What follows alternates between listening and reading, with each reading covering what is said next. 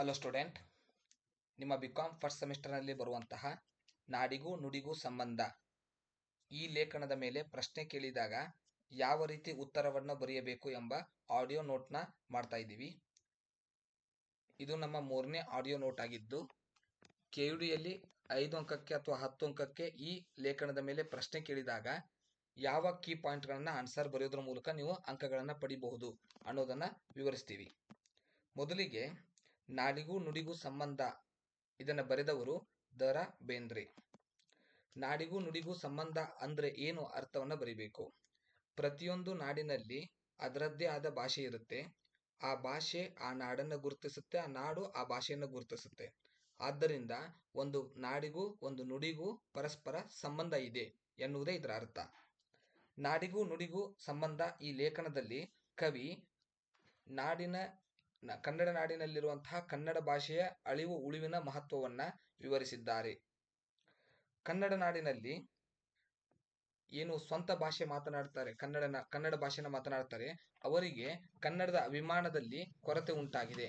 ಇದರಿಂದ ಆ ಕನ್ನಡ ನಾಡಿನ ಕನ್ನಡ ಭಾಷೆಯ ಗೌರವವನ್ನು ಹೆಚ್ಚಿಸುವುದಕ್ಕೋಸ್ಕರ ಈ ಲೇಖನವನ್ನು ಬರೆದಿದ್ದಾರೆ. ಇದಿಷ್ಟು ಪೀಠಿಕೆ, ಪರಿಚಯವನ್ನು ಬರಿಬೇಕು. ಕನ್ನಡದ ಈಗ ನಾಡಿಗೂ ನುಡಿಗೂ ಸಂಬಂಧ ಲೇಖನವನ್ನು ಬರೆದವರು ದ ರಾ ಬೇಂದ್ರೆ ನಾಡಿಗೂ ನುಡಿಗೂ ಸಂಬಂಧ ಎಂದರೆ ಪ್ರತಿಯೊಂದು ನಾಡು ತನ್ನ ನುಡಿಯಲ್ಲಿ ಗುರುತಿಸಿಕೊಳ್ಳುತ್ತದೆ, ಪ್ರತಿಯೊಂದು ನುಡಿ ತನ್ನ ನಾಡಿನಿಂದ ಗುರುತಿಸಿಕೊಳ್ಳುತ್ತದೆ. ಆದ್ದರಿಂದ ನಾಡು ಮತ್ತು ನುಡಿಗಳು ಪರಸ್ಪರ ಒಂದಕ್ಕೊಂದು ಅವಲಂಬಿತ ಸಂಬಂಧವನ್ನು ಹೊಂದಿದೆ. ಇದನ್ನು ತಿಳಿಸುವುದೇ ನಾಡಿಗೂ ನುಡಿಗೂ ಸಂಬಂಧವಾಗಿದೆ. ಈ ಲೇಖನದ ಮಹತ್ವ ಏನಂದ್ರೆ, ನಾಡಿಗೂ ನುಡಿಗೂ ಸಂಬಂಧದ ಲೇಖನದ ಮಹತ್ವ ಏನಂದ್ರೆ, ಕರ್ನಾಟಕದಲ್ಲಿರುವ ಕನ್ನಡಿಗರಲ್ಲಿ ಕನ್ನಡದ ಭಾಷೆಯ ಮೇಲಿನ ಅಭಿಮಾನ ಬರ, ಕ್ರಮೇಣ ಕಡಿಮೆ ಆಗುತ್ತಾ ಹೋಗುತ್ತಿದೆ. ಇದನ್ನು ಎಚ್ಚರಿಸುವುದಕ್ಕೋಸ್ಕರ ಈ ಲೇಖನವನ್ನು ಬರೆಯಲಾಗಿದೆ. ಇದಿಷ್ಟು ಪೀಠಿಕೆ ಪರಿಚಯವನ್ನು ಮಾಡಿದ ನಂತರ, ನಾ, ನುಡಿ ಅಂದ್ರೆ ಏನು, ಅದಕ್ಕೆ ಮೂಲ ರೂಪ ಹೇಗಿರುತ್ತೆ ಅದನ್ನ ಬರಿಬೇಕು. ಮನುಷ್ಯನಿಗೆ ಹೇಗೆ ದೇಹ ಇರುತ್ತೆ, ಪ್ರಾಣ ಇರುತ್ತೆ, ಮನಸ್ಸು ಇರುತ್ತೆ, ಮಿದುಳು ಇರುತ್ತೆ, ಅದೇ ರೀತಿ ಒಂದು ನುಡಿಗೂ ಕೂಡ, ಒಂದು ಭಾಷೆಗೂ ಕೂಡ ಪ್ರಾಣ ಇರುತ್ತೆ, ದೇಹ ಇರುತ್ತೆ, ಮನಸ್ಸು ಇರುತ್ತೆ ಮತ್ತು ವಿಚಾರ ಶಕ್ತಿ ಇರುತ್ತೆ. ಹೇಗೆ ಅಂತ ಬರಿಬೇಕು? ನುಡಿಯ ದೇಹ ಯಾವುದಂದ್ರೆ ಯಾವ ಭಾಷೆಯನ್ನು ಮಾತನಾಡುವ ಪ್ರದೇಶದಲ್ಲಿ ಗುಡ್ಡ, ಪರ್ವತ, ನದಿ, ನಿಸರ್ಗ ಏನಿರುತ್ತೆ ಅದೇ ನುಡಿಯ ದೇಹ. ಇನ್ನು ಆ ಪ್ರದೇಶದಲ್ಲಿ ವಾಸಿಸುತ್ತಿರುವ ಜನರು ಏನಿದಾರಲ್ಲ ಈ ಜನರೇ ಏನಂದ್ರೆ ಅದರ ಪ್ರಾಣ. ಈ ನುಡಿಯ ಮೇಲೆ ನಡೆಯುವಂತಹ ಧರ್ಮಾಚರಣೆಗಳು, ವಚನಗಳು, ಸಾಹಿತ್ಯ ಪ್ರವಚನಗಳು, ಕಾರ್ಯಕ್ರಮಗಳು, ಸುದ್ದಿಗೋಷ್ಠಿಗಳು ಇವೆಲ್ಲವೂ ಅದರ ಜ್ಞಾನ, ಅಂದರೆ ಮಿದುಳಿದ್ದಂತೆ.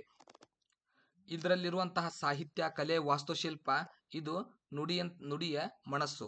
ಸೊ ಹೇಗೆ ಮನುಷ್ಯನಿಗೆ ದೇಹ, ಪ್ರಾಣ, ಮನಸ್ಸು, ಜ್ಞಾನ ಇರುತ್ತೆ, ಅದೇ ರೀತಿ ಒಂದು ಭಾಷೆಗೆ ದೇಹ ಏನಂದ್ರೆ ಗುಡ್ಡ ಪರ್ವತಗಳು, ನದಿ ಸರೋವರಗಳು, ಪ್ರದೇಶದಲ್ಲಿರುವಂತಹ ಪ್ರದೇಶ, ಪ್ರದೇಶದಲ್ಲಿರುವಂತಹ ನಿಸರ್ಗವೇ ಅದರ ದೇಹ. ನುಡಿಯ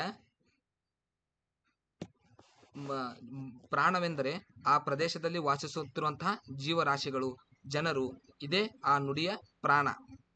ಇನ್ನು ನುಡಿಯ ಜ್ಞಾನ ಯಾವುದಂದ್ರೆ ಅಲ್ಲಿಯ ಪ್ರವಚನ ಕಾರ್ಯಕ್ರಮಗಳು, ಸುದ್ದಿಗೋಷ್ಠಿಗಳು, ಸಾಹಿತ್ಯಗಳು, ಇವೆಲ್ಲವೂ ನುಡಿಯ ಜ್ಞಾನ. ಇನ್ನು ನುಡಿಯ ಮನಸ್ಸು ಯಾವುದೆಂದರೆ ಅಲ್ಲಿರ, ಅಲ್ಲಿಯ ವಾಸ್ತುಶಿಲ್ಪ, ಕಲೆ ಶಿಲ್ಪ ಶಿಲ್ಪ ರಚನೆ ಶೈಲಿ, ಇದೆಲ್ಲವೂ ನುಡಿಯ ಮನಸ್ಸು. ಸೊ, ಈ ನಾಡು ನುಡಿಗೆ ನುಡಿಯ ದೇಹ ಮತ್ತು ಪ್ರಾಣದ ಬಗ್ಗೆ ಬರೆದ ನಂತರ, ಲೇಖಕರು ನುಡಿಯ ಮೇಲೆ ತಾತ್ಸಾರ ಮನೋಭಾವನೆ ಹೊಂದಿರುವ ಜನರನ್ನ ದೋಷಿಸುತ್ತಾರೆ, ಅಂದ್ರೆ ಬೈಯುತ್ತಾರೆ. ಅದರ ಬಗ್ಗೆ ಬರಿಬೇಕಾಗುತ್ತೆ. ಇಬ್ಬರನ್ನ ಬೈತಾರೆ ಅವರು ನುಡಿಯನ್ನ ಕೇವಲ ವ್ಯವಹಾರ ಭಾಷೆಗೋಸ್ಕರ ಕಲಿಯೋರು, ವ್ಯವಹಾರಕ್ಕೋಸ್ಕರ ಕಲಿಯೋರು. ಅಂದ್ರೆ ಈಗ ಕನ್ನಡವನ್ನ ಕಲಿತೋ ಕಲಿತಿರುವಂತಹ ವ್ಯವಹಾರಸ್ಥರು ಏನ್ ಮಾಡ್ತಿದ್ದಾರೆ? ಕೇವಲ ಕೆಲವೊಂದಿಷ್ಟು ಸಂಖ್ಯೆಗಳನ್ನ, ಕೆಲವೊಂದಿಷ್ಟು ಪದಗಳನ್ನ ತಮಗೆ ವ್ಯವಹಾರಕ್ಕೆ ಎಷ್ಟು ಬೇಕಲ್ಲ ಅಷ್ಟೇ ಪ್ರಮಾಣದಷ್ಟು ಕನ್ನಡವನ್ನ ಕಲಿತಿದ್ದಾರೆ. ಈ ರೀತಿ ಕನ್ನಡ ಕಲಿಯುವವರನ್ನ ದೋಷಿಸುತ್ತಾರೆ. ನಾಲ್ಕು ರೀತಿ ಬೈತಾರೆ. ಮೊದಲು ಕನ್ನಡವನ್ನ ವ್ಯವಹಾರದ ಉದ್ದೇಶಕ್ಕಾಗಿ ಮಾತ್ರ ಕಲಿತವರು ಮನುಷ್ಯರಂತೆ ನಟಿಸುವಂತಹ ಪಶುಗಳಂತ ಕರೆದಿದ್ದಾರೆ. ನುಡಿಯನ್ನ ಕೇವಲ ವ್ಯವಹಾರಕ್ಕೋಸ್ಕರ ಕಲಿತವರು ಅಲೆದಾಡುವ ಹುಚ್ಚರಂತಿದ್ದಾರೆ. ನುಡಿಯನ್ನ ವ್ಯವಹಾರಕ್ಕೋಸ್ಕರ ಕಲಿತವರು ಸಂಸ್ಕಾರ ತಪ್ಪಿದವರಾಗಿದ್ದಾರೆ. ನುಡಿಯನ್ನ ವ್ಯವಹಾರಕ್ಕೋಸ್ಕರ ಅಷ್ಟೇ ಕಲಿತವರು ಮೂರ್ಖರಂತಿದ್ದಾರೆ. ಅಂದ್ರೆ ಒಂದು ಭಾಷೆಯನ್ನ ತಮ್ಮ ವ್ಯವಹಾರಕ್ಕೆ ಎಷ್ಟು ಜನ ಬೇಕೋ ಎಷ್ಟು ಬೇಕೋ ಅಷ್ಟೇ ಕಲಿಯುವವರು ಒಂದು ರೀತಿ ಹುಚ್ಚರಿದ್ದಂತೆ, ಮೂರ್ಖರಿದ್ದಂತೆ, ಸಂಸ್ಕಾರವಿಲ್ಲದವರಿದ್ದಂತೆ, ಪಶುಗಳಿದ್ದಂತೆ ಎಂದು ದ ಅವರು ಹೇಳ್ತಾರೆ. ಇನ್ನು ನುಡಿಯ ಮಹತ್ವವನ್ನ ಕವಿ ತಮ್ಮ ಮಾತಿನಲ್ಲಿ ಹೇಳ್ತಾರೆ. ಅದನ್ನು ಬರಿಬೇಕಾಗುತ್ತೆ. ಹೇಗೆ ಒಬ್ಬ ಮನುಷ್ಯ ತಾನು ವಾಸಿಸುತ್ತಿರುವಂತಹ ಪ್ರದೇಶದ ವಾತಾವರಣಕ್ಕೆ, ಅನ್ನಕ್ಕೆ, ನೀರಿಗೆ, ಗಾಳಿಗೆ ಹೊಂದಿಕೊಂಡಿರುತ್ತಾನೆ. ಅದೇ ಅವನು ಬೇರೆ ಪ್ರದೇಶದಲ್ಲಿ ಬದಲಾವಣೆಯಾದಾಗ, ಬೇರೆ ಪ್ರದೇಶಕ್ಕೆ ಹೋದಾಗ ಅವನಿಗೆ ನೀರಿನಲ್ಲಿ, ಗಾಳಿಯಲ್ಲಿ, ಆಹಾರದಲ್ಲಿ, ಪ್ರದೇಶದಲ್ಲಿ ವ್ಯತ್ಯಾಸವಾದರೆ ಯಾವ ರೀತಿ ಅವನು ಅನಾನುಕೂಲವನ್ನು ಅನುಭವಿಸುತ್ತಾನೆ, ಅದೇ ರೀತಿ ಒಬ್ಬ ಮನುಷ್ಯ ನುಡಿಯನ್ನ ಮರೆತರೆ. ನುಡಿ, ಒಂದು ಪ್ರದೇಶದಿಂದ ಒಂದು ಪ್ರದೇಶಕ್ಕೆ ಹೋದಾಗ ತನ್ನ ಭಾಷೆಯ ಬಗ್ಗೆ ಅಭಿಮಾನವನ್ನು ಕಳೆದುಕೊಂಡರೆ ಅವನು ಅದೇ ರೀತಿ ಅನಾರೋಗ್ಯ ಮನುಷ್ಯನಾಗುತ್ತಾನೆ. ಹೇಗೆ?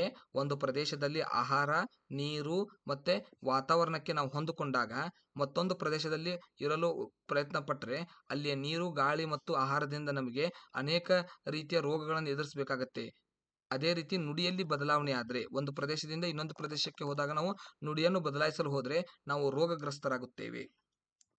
ಇದನ್ನು ಬರೆದ ನಂತರ, ನುಡಿಯ ಬಗ್ಗೆನ ಉಳಿದವರ ಅಭಿಪ್ರಾಯ ಏನು? ಅದನ್ನು ಹೇಳ್ತಾರೆ. ಇಂಗ್ಲೆಂಡ್ ದೇಶದವರು, ಇಂಗ್ಲೆಂಡ್ ದೇಶ ಅಳಿದು ಹೋಗಲಿ, ಇಂಗ್ಲಿಷ್ನ ಬರಹಗಾರ ವಿಲಿಯಂ ಶೇಕ್ಸ್ಪಿಯರ್ನ ಲೇಖನಗಳು ಉಳಿಯಲಿ ಎಂದು ಅಭಿಪ್ರಾಯ ಪಡುತ್ತಾರೆ ಯಾದವರು ಸಾಮ್ರಾಜ್ಯ ತಮ್ಮದು ಮುಳುಗಿ ಹೋದರೂ ಕೂಡ ಮರಾಠರ ಜ್ಞಾನೇಶ್ವರಿ ಉಪಾಸನೆಯನ್ನು ಮಾತ್ರ ಅವರು ಬಿಡುವುದಿಲ್ಲ.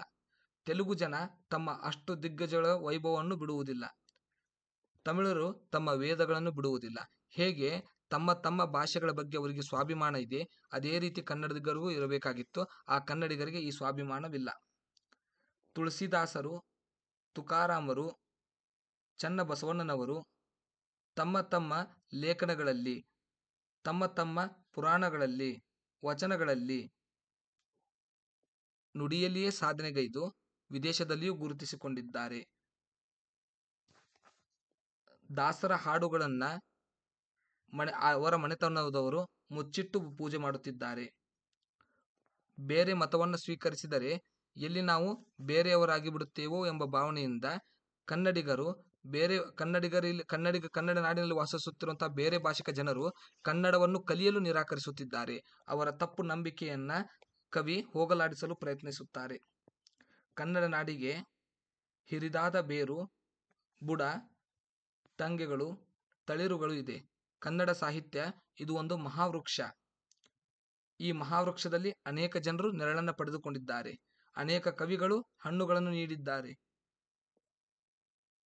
ಆದರೆ ಇಂದು ಧಾರವಾಡ, ಬೆಳಗಾವಿ, ಬಿಜಾಪುರ ಮತ್ತು ತುಂಗಾ ನದಿಯ ಉತ್ತರ ಸೀಮೆಯಲ್ಲಿ ಕ್ರಮೇಣ ಕನ್ನಡ ನಶಿಸಿ ಹೋಗುತ್ತಿದೆ. ಇದರಿಂದ ಬೇಜಾರುಗೊಂಡು ಲೇಖಕರು ಈ ಕನ್ನಡವನ್ನು ಉಳಿಸಬೇಕಾದರೆ ದಾಸಕೂಟಗಳು ನಡೆಯಬೇಕು, ಅನುಭವ ಮಂಟಪಗಳು ಇರಬೇಕು, ಅಮೃತ ಸಾರಗಳು ನಡೆಯಬೇಕು, ಅನುಭವಾಮೃತಗಳು ನಡೆಯಬೇಕು, ವಚನಾಮೃತಗಳು ನಡೆಯಬೇಕು, ಗೀತೋಪಾದಗಳು ನಡೆಯಬೇಕು ಎಂದು ಅಭಿಪ್ರಾಯಪಟ್ಟಿದ್ದಾರೆ. ಇದಿಷ್ಟು ನೀವು ಬರೆಯೋದ್ರ ಮೂಲಕ ಪೂರ್ಣ ಅಂಕಗಳನ್ನು ನಾಡಿಗೂ ನುಡಿಗೂ ಸಂಬಂಧದಲ್ಲಿ ಪಡೆಯಬಹುದು. ಮತ್ತೆ ಮುಂದಿನ ವಿಡಿಯೋದಲ್ಲಿ ಸಿಗ್ತೀನಿ. ಎಲ್ಲರಿಗೂ ಕೂಡ ಧನ್ಯವಾದಗಳು.